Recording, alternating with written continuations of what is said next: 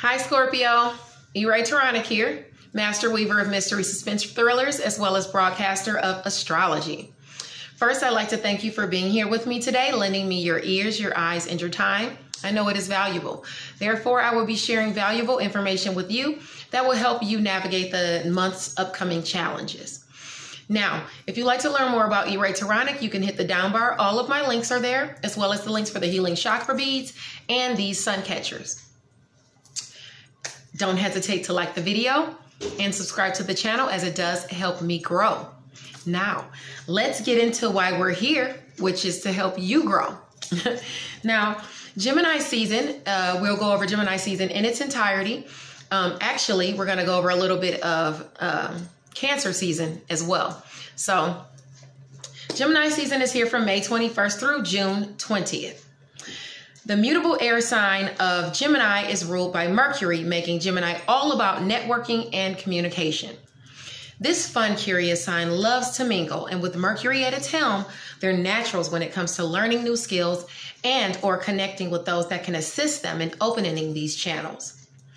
This month, we're prompted to take a page out of the book of Gemini. Listen, learn, explore, network. In order to expand your business this month, you're required to poke your head out of your shell, even if you remain in quarantine somewhat. Using the World Wide Web is going to be your best bet, allowing you to reach far and wide right from the comfort of your own home. It's a time to connect. Find the connect. Catch my drift? Now let's get into somewhere uh, our major planets will be transiting. Now we know that Uranus is in Taurus, where it will be for quite some time.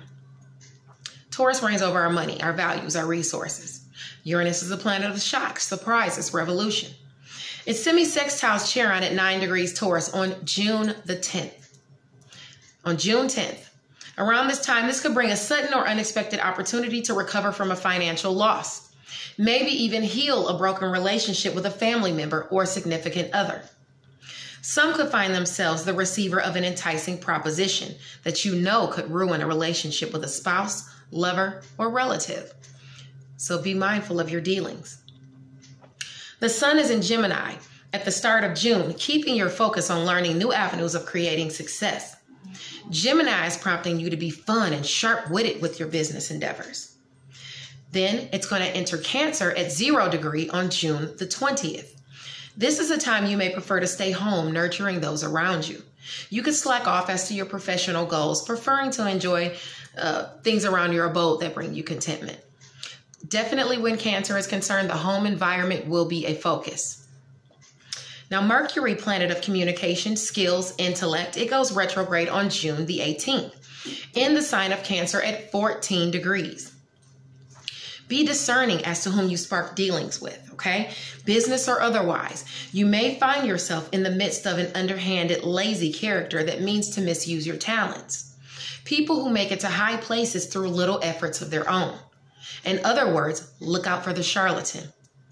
Now, that being said, you will also during this retrograde be dealing with people you've dealt with in the past that you've had dealings with already before, where you'll be rehashing, revising, reviewing, going back over things. Okay. And the retrograde lasts until July the 12th. Venus, the planet of love, pleasure, finances, abundance, it remains retrograde in Gemini right now the way you go about putting these things into action is in question. Some will get a second chance to deal with the same issues. I apologize for that. will you handle it like you did in the past? If so, did you even receive your desired result? Because if not, this is an opportunity to shift the outcome. Okay? Talks about finances will be a big focus during this time. As you know, um, it, it, being retrograde, you don't want to push anything forward in your finances. If anything, I would recommend scaling back. In addition to that, I don't uh, I don't uh, advise any drastic changes in your appearance because once the planet goes direct, you just might not have a taste for it. Um, Venus goes direct in Gemini on June 25th. Now, if you read my my newsletter, I made a mistake and said until June 25th. We know that it's uh, in Gemini, because I said that in the previous paragraph, but it goes direct on June 25th in the sign of Gemini. So please forgive me that faux pas. This is a position of wealth, success, fame, intelligence. All areas are free to progress toward a steadfast abundance. Neptune, the planet of fantasy, inspiration, dreams, illusions, is retrograde on June 23rd in the sign of Pisces. It's ruled by Pisces. It rules Pisces. Um, they'll be affected the most, but it will affect all of us. We may feel lazy, bossy, sharp tongued, things like that, being that Mars is there as well, which creates those challenges and things like that. And that, that that may be that harsh communication where it comes to aspirations and things like that. So try not to fall in the trap of holding yourself back uh, by blocking your blessings with a smart mouth or uh, a rabbit tongue. Mars, the planet of energy and challenges, enters Aries at zero degrees where it is exalted on June 27th. This is wonderful for you, Scorpio, especially you and Aries are ruled by Mars. Okay? Um, even as a collective, our competitive drive is back for all of us. Our ability to overcome hardships is heightened. Now, this will incite more protests as people will have the courage to fight for their rights. But um, your libido will be in overdrive. So don't allow yourself to be seduced by a snake in the grass. You really could stand to lose everything, okay? Now, Jupiter quintiles Chiron at 8 degrees of Aries on June the 1st. This could bring success to a health regimen. A chronic ailment that normally bothers you can subside during this transit. By the way, a quintile is when two planets are 72 degrees apart, forming a harmonious aspect. Now, Jupiter uh, is conjunct Pluto both at 24 degrees Capricorn on June 30th. This conjunction is favorable for making strides in literature and education. However, you must be willing to, to learn, to study, to try new things. So, a word of advice your wit is sharp. Just be sure your tongue doesn't match. We're de- dealing with Capricorn. You know, Capricorns can be very direct because we're under that energy. So, be careful. Now, Jupiter is retrograde in Capricorn until September 23rd. Remember that. You'll have that boss syndrome going on until then. Now, Saturn is retrograde in Aquarius, all of us, because I'm talking to the collective right now. Saturn is retrograde in Aquarius until September 29th. As you know, Saturn is the planet of restrictions, responsibility, even karma, good or bad. Your actions help determine how your karma plays out. In this position, it's uh, there's a danger of short-lived romances fouling up one's karma, so you want to be mindful with whom you have dealings. Success can be achieved, but one must abide by principles. Okay? Pluto, planet of rebirth, renewal, resources, is retrograding to October the 4th. This is a time of transformation for the collective. Be gentle with yourself. In the coming months, our faith will be tested. Do not allow yourself to be bound by fear mentally. Do not be easily deceived. Do your homework before believing media or social propaganda, as it will be shoved into our faces from all directions. We as a collective are at a vulnerable point in our lives.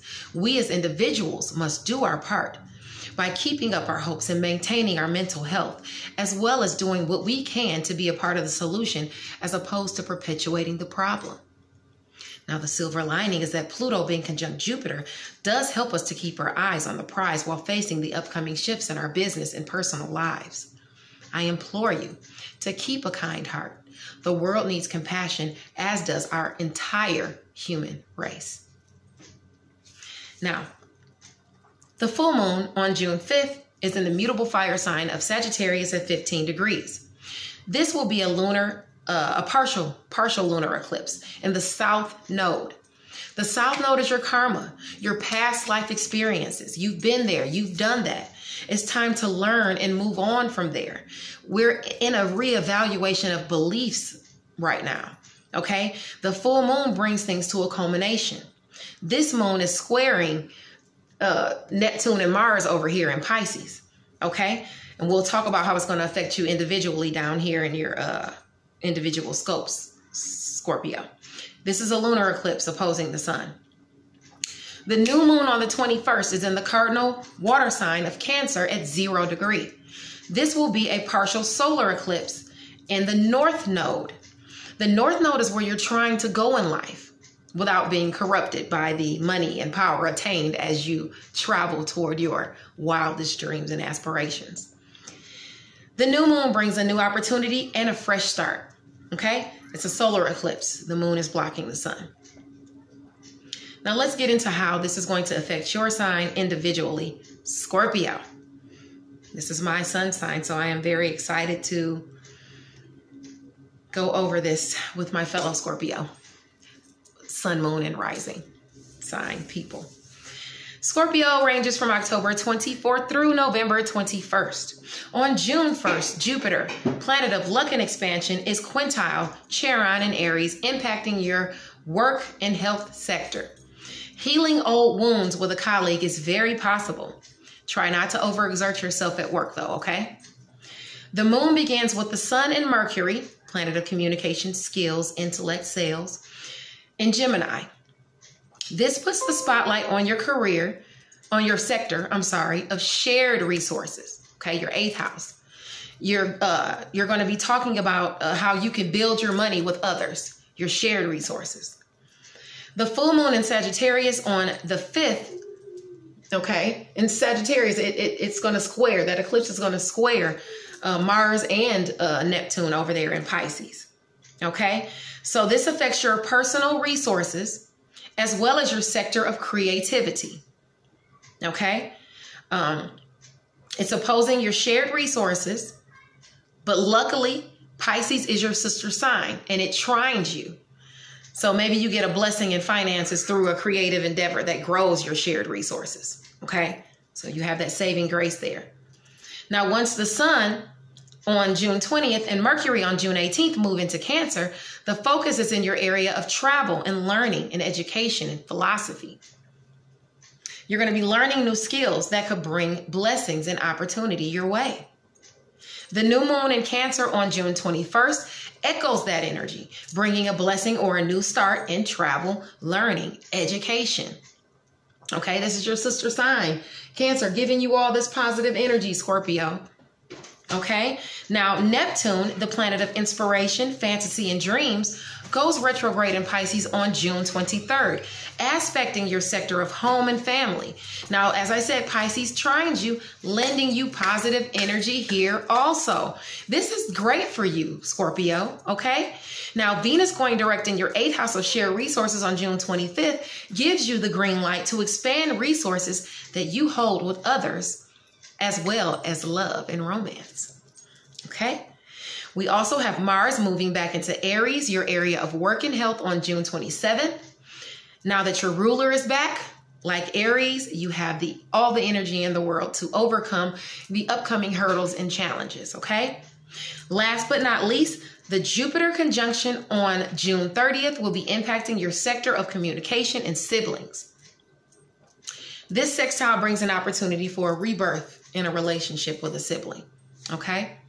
Now, Saturn still remains in Aquarius. So, this means you're having lessons in home and family. Okay? So, that means you're having tests in home and in family. It could be in stuff you have to fix around the home, it could be relationships with a partner in the home. So, pass those tests so that the blessings that come in will be great. The better the blessings. Mercury goes retrograde on June 18th. It's time to work on things right now. Okay. It, it's retrograde into July the, the 12th. Work on things. It's not a time to launch, revise, review, go back through things. Remember, I said you're going to be dealing with people from the past that you've had dealings with. Get those things straightened out so that we can move forward once the planet goes direct. Okay.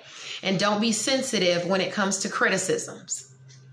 Okay. Now, um, stay safe and uh, I'll see you next month. Scorpio, I love you. Bye.